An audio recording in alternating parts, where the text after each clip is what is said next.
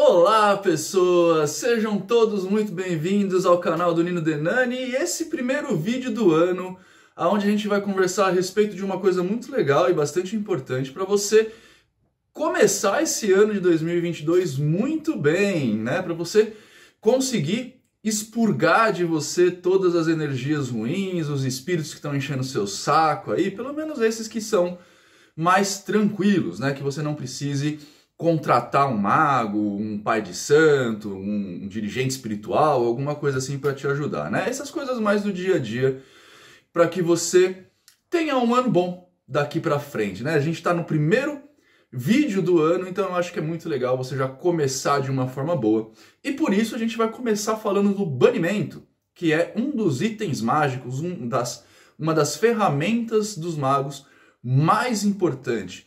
É o segundo passo das cinco pontas do pentagrama, é a segunda ponta da estrela de um ritual, por exemplo, né? E no vídeo de hoje eu não só vou falar para você o que é um banimento, como também vou te ensinar a fazer um lá no final. Vou te ensinar a fazer um banimento super simples, uma coisa bem legal para você conseguir fazer quando você quiser e quando você achar que tem que ser feito aí na sua casa, tá? Mas para isso, antes como magia é conhecimento e é o conhecimento que ajuda a gente a mudar a vida, eu preciso explicar para você o que é um banimento e principalmente por que que nós magos usamos esse banimento. Vamos lá? Antes da gente começar o vídeo, eu só vou pedir para você se inscreve aqui no canal, clica no joinha se você está gostando. Para algumas pessoas tem a ferramenta de aplauso aqui embaixo que é para dar tipo uma doaçãozinha em dinheiro se você está gostando muito do nosso trabalho. Então, clique em joinha, se inscreve. Se você gostar do vídeo lá na frente, clica aqui também no aplauso para você dar essa força para a gente, tá? Vamos para o assunto então. Como eu disse para vocês, o banimento é a segunda ponta da estrela, né? A segunda ponta do pentagrama de um ritual, que quer dizer que é a segunda de cinco, né? Já que é um pentagrama. Por que, que a gente faz o banimento nessa sequência? Antes do banimento tem a construção do círculo mágico, ou a construção do círculo de proteção. O banimento, então, ele é feito para que a gente consiga isolar aquele ambiente criado de energias externas e ou espíritos, julgando que espíritos existem. Então, quando nós vamos fazer um ritual, a gente constrói um espaço mágico usando o nosso círculo de proteção, né? Que não necessariamente precisa, é, precisa ser um círculo, pode ser, por exemplo, esse quarto aqui. As paredes desse quarto serão o meu círculo mágico, ou as paredes que envolvem essa casa, ou eu posso fazer uma esfera né, de proteção que vai cobrir 360 graus deste móvel aqui, ou desta casa, enfim.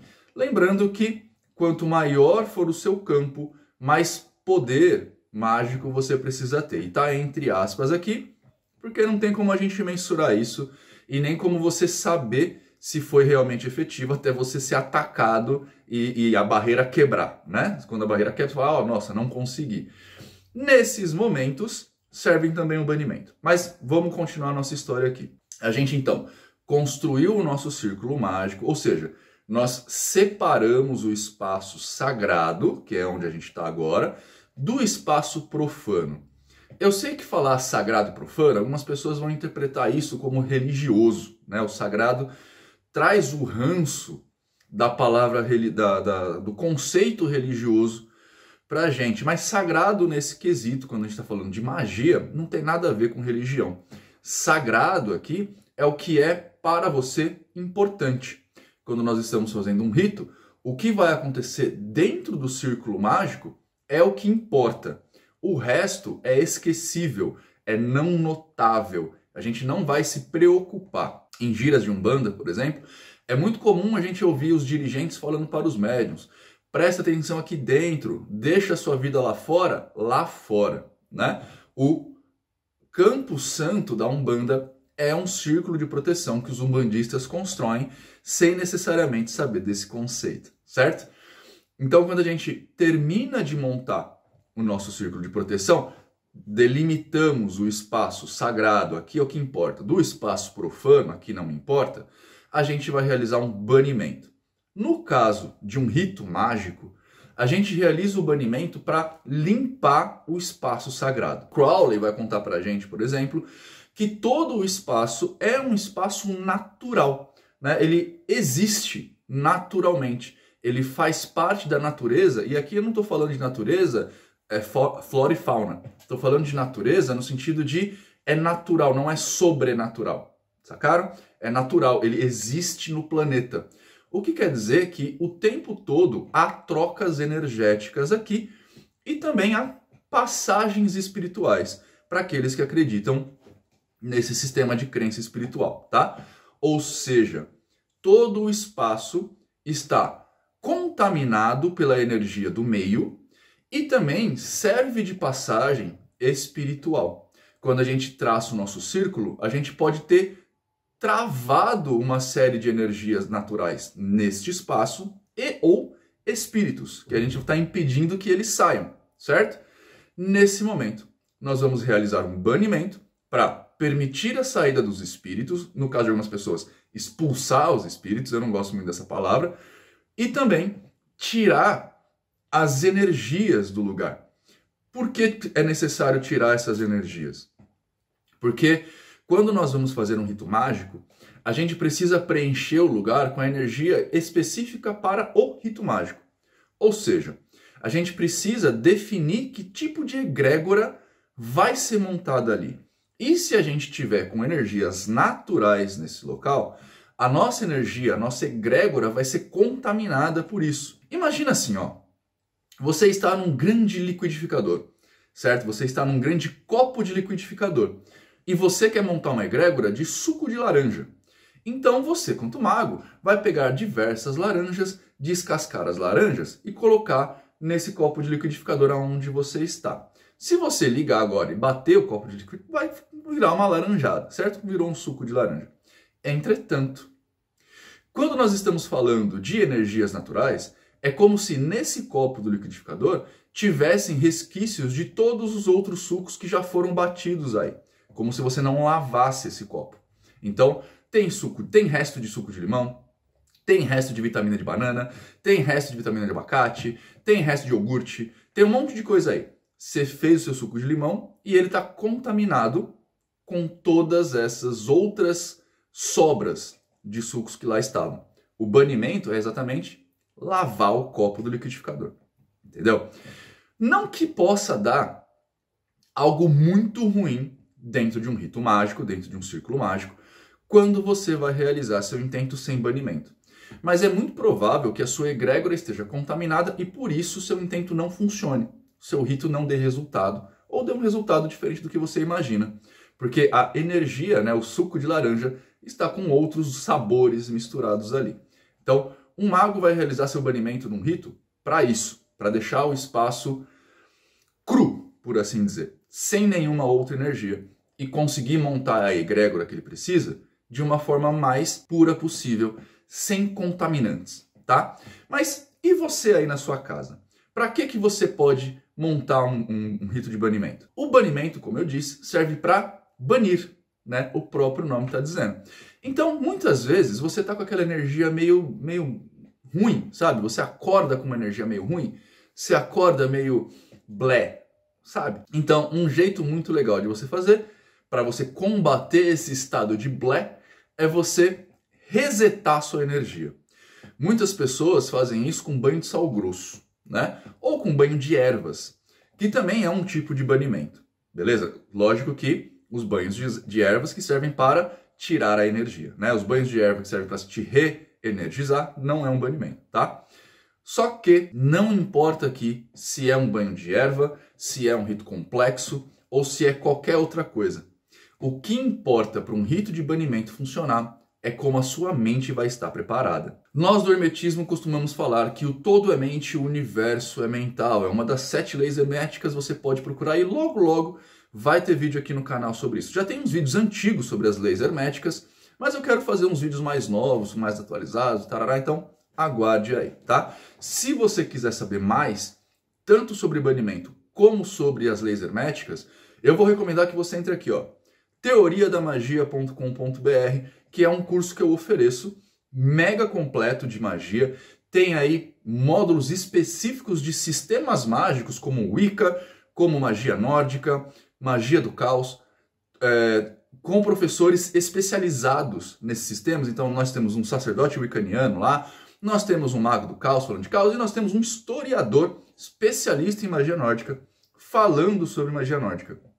Além de diversos módulos para falar, inclusive, gnose, é, entidades metafísicas, como você entrar em contato com essas entidades, um monte de coisa muito legal. Então entra aqui, teoriadamagia.com.br, a Universidade Mágica. De qualquer forma, antes da gente começar, eu preciso falar para vocês que o ritual de banimento, ele embora possa usar diversos artifícios e você pode criar o seu próprio ritual de banimento aí na sua casa, ele precisa é, usar os artifícios, usar a história que você está contando para treinar a sua mente para estar protegida. Ou seja, todo aquele arcabouço ritual que a gente faz, né? Como o RMP, no ritual menor do pentagrama, você vai traçar pentagrama nas paredes, etc e tal, você tem que fazer isso enquanto prepara a sua mente para estar banindo as coisas. A sua mente tem que usar essa narrativa que a gente chama, tá? Todo ritual ele é uma narrativa construída pelo mago para que a sua mente esteja uh, sendo manipulada por você mesmo para estar banindo. Ou seja, digamos que você está aí na sua casa, acordou meio black, como eu falei, e quer fazer um banimento para o seu dia ser melhor. Você é da Umbanda, então você está acostumado com banho de ervas, né? Como eu disse lá, o banho de sal grosso. Você sabe muito bem que para a Umbanda, uma das narrativas usadas é que espada de São Jorge é um ótimo banidor, né? A espada de São Jorge corta a demanda, né? Que o pessoal geralmente fala. Então, beleza aproveita esse arcabouço que você já tem dentro de você. Nossa, a espada de São Jorge, então, ela serve para banir. Faz lá o seu banho de espada de São Jorge, ou só pega um galho de espada de São Jorge e, enquanto você está passando a espada de São Jorge em você, realmente visualiza na sua mente esse blé, essa energia blé que você está indo embora. Você pode, inclusive, dar uma forma para ela. Imagina que você tá, né, segura lá, chega lá na sua sala, pega a espada de São Jorge e mentaliza que você está coberto de piche, por exemplo, tá? Esse piche é o símbolo mental que você está usando para a energia ruim. Quando você vai passar a espada de São Jorge, você vai visualizar enquanto você passa esse, esse piche indo embora. Isso já é um banimento, né? Digamos que você quer banir espíritos. Ah, olha, Nino, eu acho que eu estou sendo aqui obsediado, então eu quero mandar esses espíritos embora. Você pode fazer uma coisa muito legal, porque a narrativa vai ser criada por você, certo? Então você pode pegar um pano de prato, que todo mundo tem, pano de prato, beleza? E você vai colocar nesse pano de prato toda a energia que você tem para combater esses espíritos. Então você pode, de novo, fecha seus olhos constrói a narrativa, constrói a cena de vários espíritos na sua casa. Você pode inventar esses espíritos como se fossem monstros, né? O Rodrigo Bonsaber lá do Spook gosta de falar de bestiais, espíritos que parecem bestas, né? Cria essa imagem na sua cabeça, pega seu pano de prato e fecha o olho e reveste ele com uma energia dourada, né? A energia dourada representando aí a bênção da sua própria energia e começa a girar espalhando essa energia pelo seu cômodo ali. E isso vai dentro da sua mente, tirando os espíritos de perto de você. Olha que ritual de banimento legal feito com pano de prata. A grande situação que vocês precisam ter na mente de vocês, e aqui está todo o segredo que eu prometi, é que a magia está na mente, tá? Os ritos, Goetia, magia noquiana, seja lá o que for, eles são construídos como uma forma narrativa, né? Alguém criou uma história para inserir as pessoas dentro dessa história e isso mudar a mente da, da pessoa. Ela vai adentrar na narrativa. Então, quando você vai num, numa igreja católica, por exemplo, que você tem o ato da missa, né? A missa o que que é? É uma narrativa, uma história sendo com toda a missa, tá? Não só o que o padre fala, mas a igreja, os bancos, né? Os genuflexórios, uh, o altar, a, a, a hóstia com vinho, toda a história do cristianismo, tudo isso é uma narrativa construída para inserir você fiel dentro da narrativa. Quando você está lá dentro, automaticamente a sua mente muda para a narrativa que está sendo contada e aí você coaduna, você começa a fazer parte da história. Isso é um rito mágico. Então você pode criar seu próprio rito mágico dentro das suas especificações na sua casa, desde que ele seja forte o suficiente, essa narrativa seja forte o suficiente para te causar alterações mentais, certo? Isso é um rito de banimento. É quando o mago conta uma história para convencê-lo de que ele realmente está tirando as energias de lá, tirando os espíritos de lá. E agora você também pode fazer aí na sua casa. Mas antes de você começar, eu só queria te pedir para coloca aqui embaixo no campo de comentários se você tem dúvidas sobre o assunto. Eu expliquei legal? Não expliquei? Ficou dúvidas para vocês? Porque assim eu consigo abordar o tema de uma outra forma, se for é, necessário. E mais do que isso, se você realmente está com dúvidas, dúvidas pontuais, torne-se um membro do canal, porque aí você vai entrar lá no grupo de WhatsApp dos demoninos, né, os meus queridos, e lá a gente pode conversar a respeito disso direitinho, tá? Se você não quiser ou não conseguir por algum motivo, entrar aqui nas, nas, nas iniciativas que eu tenho, que estão lá no canal, né? No Rito Coletivo, no Teoria da Magia, no uh, Práticas de Feitiçaria, você pode entrar aqui no grupo, se tornar um membro e ir lá para bater papo, tá? Claro que lá no grupo dos demoninos é uma coisa mais informal, uma coisa mais de amigo, mais de família, mas de vez em quando as pessoas, inclusive eu, podemos tirar dúvidas, beleza? Então por hoje é isso. Eu espero que você tenha um ótimo dia. Espero que você seja uma pessoa melhor do que você foi até agora. E tchau.